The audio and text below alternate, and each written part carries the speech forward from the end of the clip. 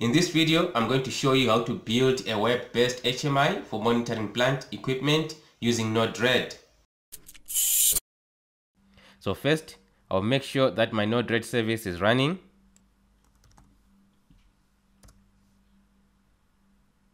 By going to the command prompt and typing Node-RED. Okay, so once my Node-RED service is running, I'll go ahead and access the editor by going to localhost port 1880 since Node-RED is running locally on my machine. So here I've got a Node-RED flow that reads the value of this potentiometer from this industrial controller via Modbus TCP protocol. So what we want to do is to add an HMI page that will allow us to view and control plant equipment via a web browser. So to begin, we must install a Node-RED package that will allow us to create graphical controls for building dashboards on Node-RED. And to do that, I'll go to my menu, manage palette, go to install, and then type in the name of the package, which is Node-RED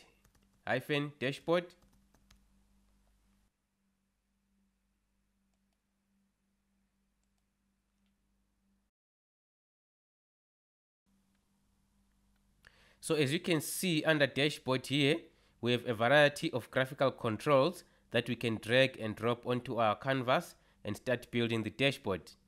And then here to the top right corner, you'll find that a new tab has been added with a bar chart icon. So this is the tab that lets you access and create your dashboard layout. You can also access your dashboard layout by going to menu, view, and then selecting dashboard here. So here the layout is organized such that you can create tabs in your dashboard and inside each tab you can group your controls. Let me show you how that works in practice. So I want to display the value of the potentiometer that I'm reading via Modbus as a line chart.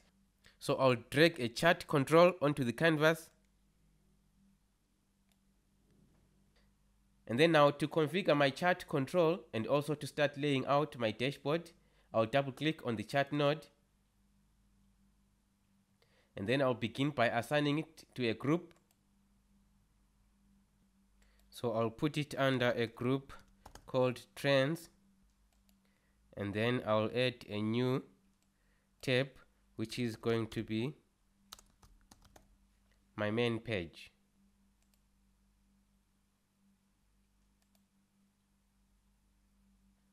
And then from there I'll put uh, the configuration information starting with the name of the chart and the x-axis. I want it to be in the range of minutes. And my potentiometer value is ranging from 0 to 100 and then press done. So as you can see already to the right here a hierarchy has been formed my potentiometer chart is on a group called trends, which is inside the main page. So I'll send the potentiometer value coming in via Modbus TCP to the chart by connecting the two. And then I'll deploy. And then we can view the live page by clicking this button here. So there is our chart. And if I turn up the potentiometer,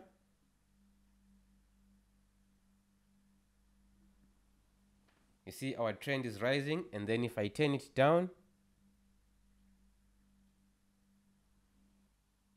so this is a real-time view of the value that we are reading from the potentiometer. Okay and then I can also add a radial gauge to display the same value. I'll double click it.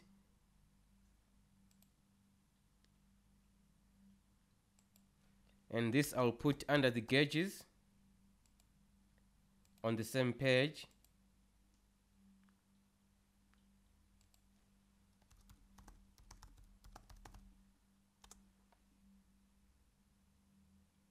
And then the range will be from 0 to 100 and then the unit is percent. And then here I can also use the colors as a warning. If it gets to 50 percent and when it gets to 75% and then I'll click done and connect it to the same value. Deploy. And then when we go to the page without even refreshing it's already displaying. So if I turn up the post again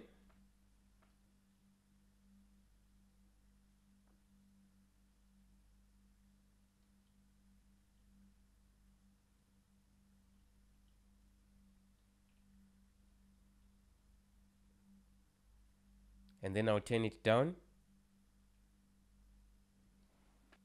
Okay so now what I want to be able to do is to send the information down to the controller from the browser. So I've got this buzzer here connected to the digital output module on the controller rack. So what I want to do is I want to put a toggle switch here that will sound the buzzer on and off when it is toggled. So I'll drag the switch control onto the canvas double click to change its properties.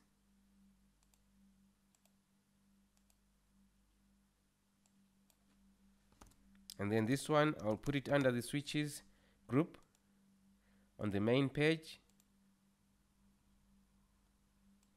And then I'll call this switch the buzzer. Okay this time we're not going to use modbus to send the information down to the controller. Instead we're going to use a Node-RED package that was specifically built for this controller.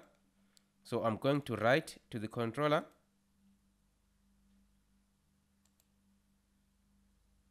So here I'll add the controller IP address. And then I'll put my REST API keys.